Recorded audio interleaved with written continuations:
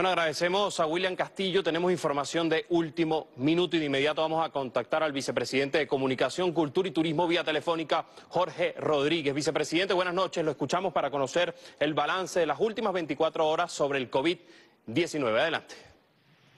Muy buenas noches, Julio, y un abrazo a todos los trabajadores y las trabajadoras de Venezolana de Televisión.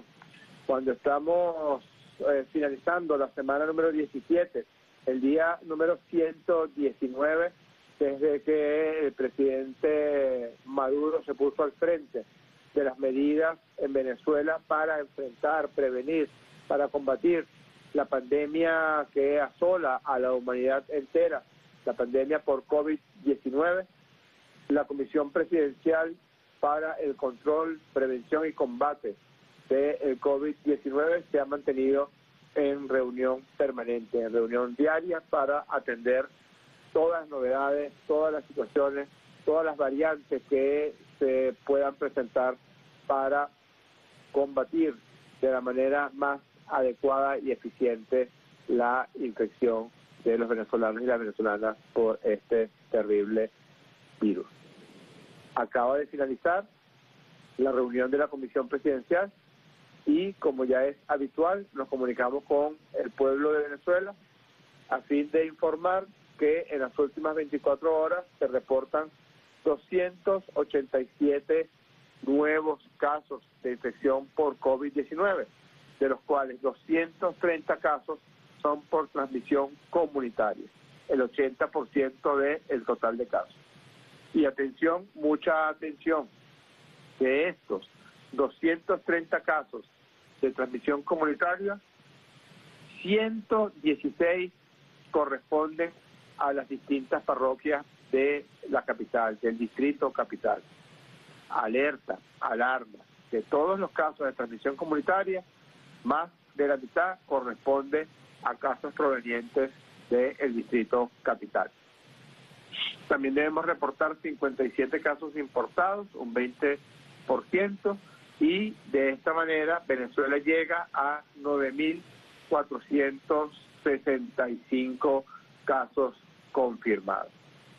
En cuanto a la distribución geográfica, los 230 casos comunitarios se reparten en 116 casos del Distrito Capital, 65 casos del Estado Bolívar, 25 casos del Estado Zulia, 13 casos del Estado Monaga, 5 casos del Estado Táchira, un caso del Estado Sucre, un caso del Estado La Guaira, un caso del Estado Carabobo, un caso del Estado Barinas, un caso del Estado Apure y un caso del Estado Aragua.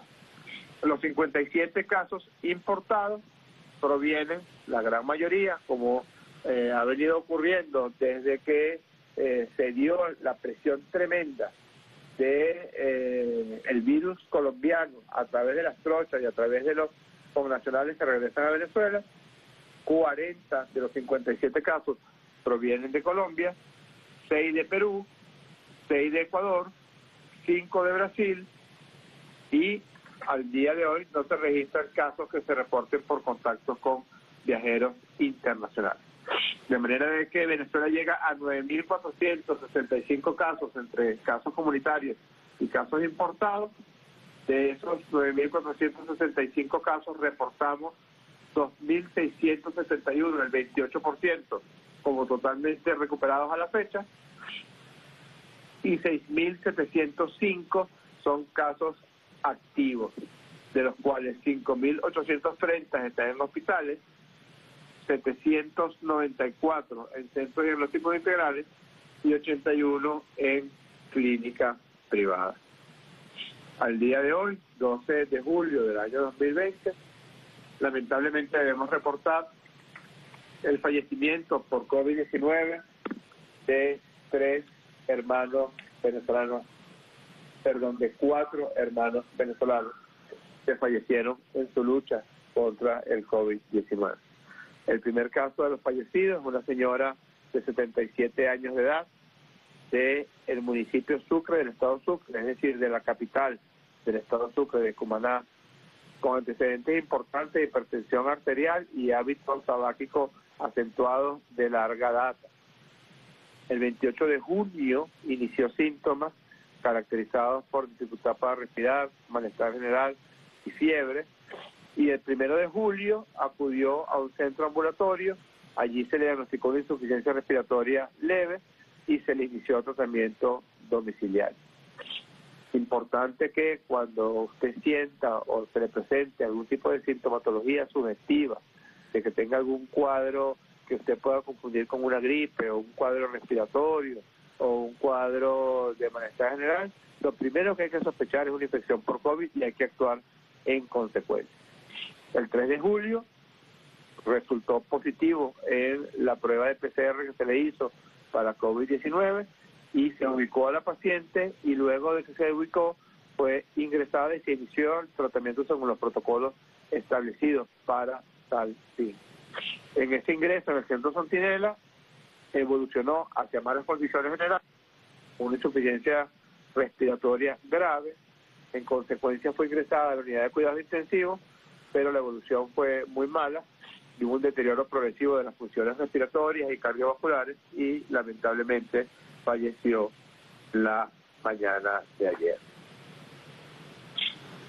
El segundo caso es una señora de 78 años de edad, también de Cumaná, del estado de Sucre, oficios del hogar, que además era hipertensa, asmática, fumadora activa.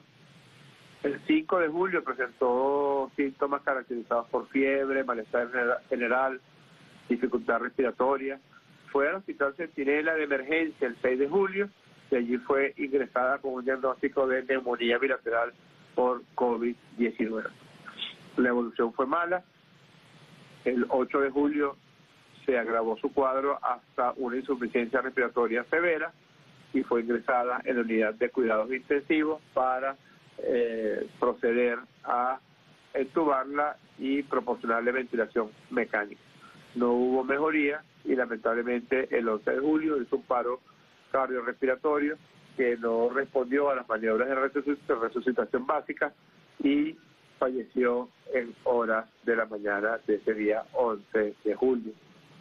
El tercer caso es un señor de 58 años de edad del distrito capital de la parroquia Caricuao, trabajador del sistema de salud.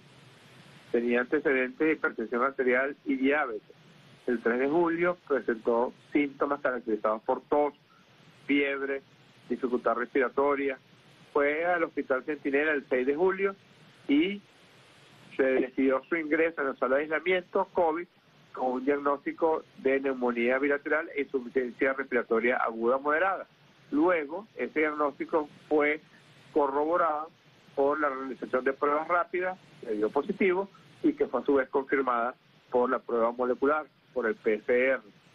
Presentó una insuficiencia respiratoria moderada mientras estuvo hospitalizado y el día 11 de julio presentó un deterioro muy rápido de su función respiratoria, hizo una insuficiencia respiratoria severa, casi que en pocos minutos, y luego hizo un paro cardiorrespiratorio que no respondió a la reanimación cardiopulmonar.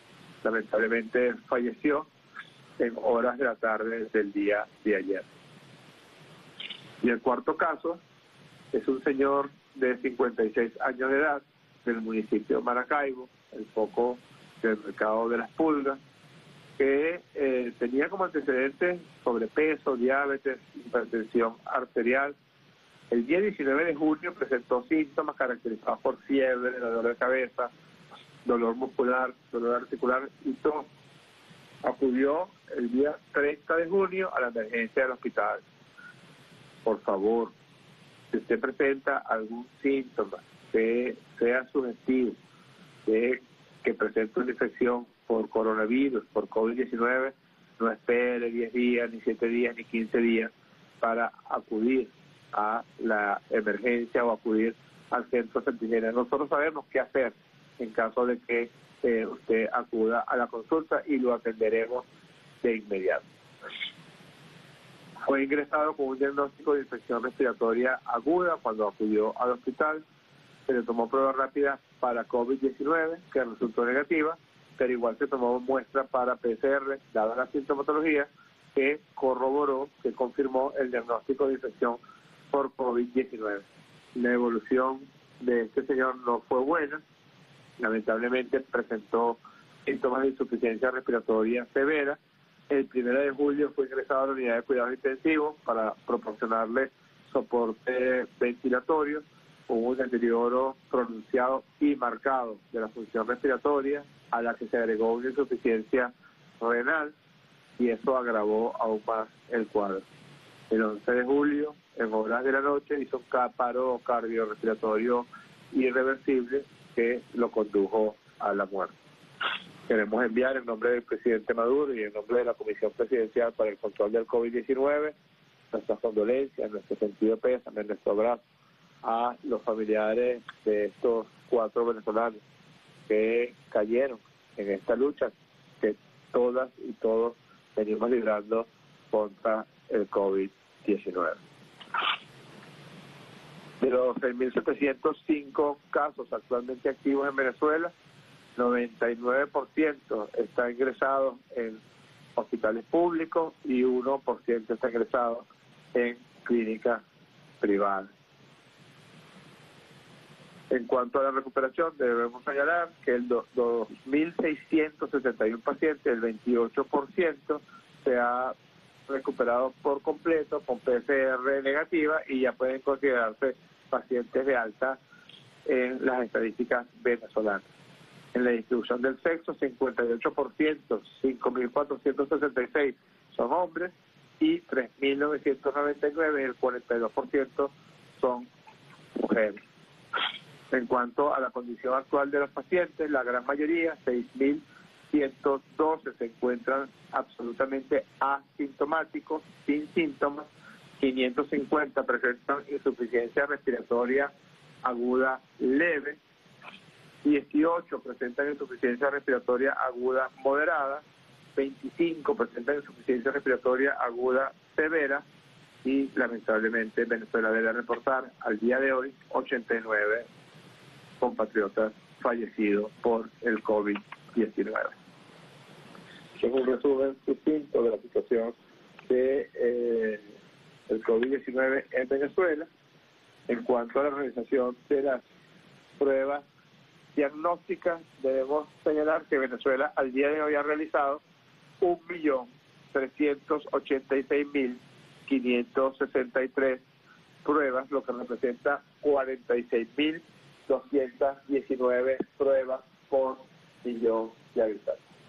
El presidente Nicolás Maduro presentó el día de ayer cuál sería el esquema de flexibilización en, la estrategia del 7 más 7 que Venezuela ha venido aplicando en todo el territorio nacional y estableció tres zonas con tres distintos niveles de flexibilización. El nivel 1 es el mantenimiento de la cuarentena radical. En esa cuarentena radical están incorporados todos los municipios del estado Zulia, el municipio Alberto Adriani del estado Mérida, el municipio Sucre en el estado Sucre, es decir, el municipio capital del estado Sucre, en el municipio Amazonas, los municipios Atures, Autana, Atabapo, Maroa, Río Negro, Alto Orinoco y Malapiares, en el estado Apure, los municipios Pae, Rómulo Gallegos y Pedro Camejo, en el, municipio, en el estado Bolívar, el municipio Gran Sabana, en el estado Táchira, los municipios García de Evia, Ayacucho, Lobatera, Pedro María Ureña, Bolívar y Rafael Urdaneta, y en el estado Nueva Esparta, el municipio Villalba y la isla de Coche. En estos municipios que acabo de mencionar, de denunciar, solo se permitirá servicios públicos, servicios de alimentación y farmacia. El resto de las actividades económicas y comerciales quedan completamente restringidas a la cuarentena radical y todas y todos deben cumplir en esos municipios con el confinamiento que ha demostrado ser el único mecanismo que pueda detener, que pueda interrumpir la cadena de transmisión. Luego tenemos el nivel 2, donde la flexibilización será un poco mayor, parcial y vigilada.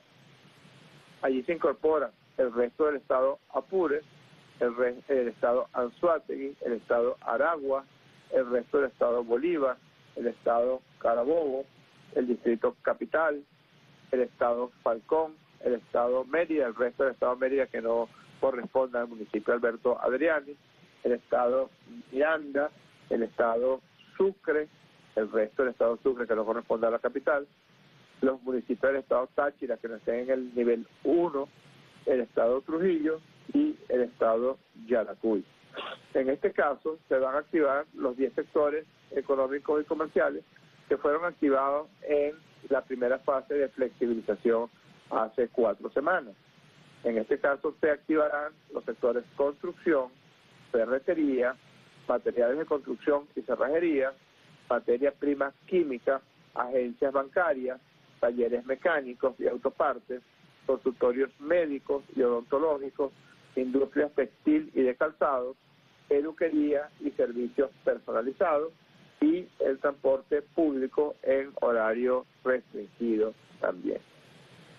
Y luego está el nivel 3, que corresponde a la flexibilización ampliada, y allí están incorporados los restantes municipios del estado Amazonas, los estados Barinas, Ojede, del Camacuro, Guárico, Lara, Monaga, el resto de los municipios del estado de Nueva Esparta, Portuguesa y La Guaira. Aquí se incluyen, además de los que ya mencioné en el nivel 2, debemos incluir también los autolavados, las ópticas, las reparaciones electrónicas, la industria y comercialización de papelería y librería, heladerías y cafeterías solo para llevar, lavanderías y tintorería, centros comerciales, solo aquellos comercios flexibilizados, fábrica y ensamblaje de equipos electrónicos y electrodomésticos, servicios de encomienda, comercialización del sector textil y de calzado, talleres de costura, reparación y mercería, registros y noterías, gimnasios y eventos deportivos sin público, atención veterinaria y autocine.